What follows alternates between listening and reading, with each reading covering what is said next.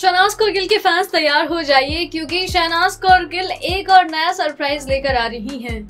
Digital media में social media में शहनाज कौरगिल के चर्चे हैं। लेकिन अब वो डिजिटल प्लेटफॉर्म पर भी डेब्यूट करने जा रही है। जी हाँ शहनाज कौरगिल ने एक नई वेब सीरीज़ का प्रोमो शूट किया है और ये वाकई में बहुत ही खूबसूरत और बेहतरीन सवेरा स्वतेश स्टाइलिश है, जिन्होंने एक ट्वीट करके बताया है fun at work when you have Shehnaaz Gill on set जी हाँ और यहाँ पर जो हैशटैग्स का इस्तेमाल किया गया है, वो प्रोमो शूट का है और Amazon मिनी टीवी जी हाँ शहनाज कौरगिल ने Amazon मिनी टीवी के लिए प्रोमो शूट किया है और बहुत जल्द ही हमें वो शायद Amazon मिनी टीवी पर उनकी कोई सीरीज़ देखने को मिले और ये प्रोमो शूट भी जल्द ही हमारे सामने होगा। और ये प्रोमो कैसा होगा, ये भी देखने वाली बात होगी कि शहनाज कौरगिल का डिजिटल प्लेटफॉर्म पर ये डेब्यू कैसे होने वाला है।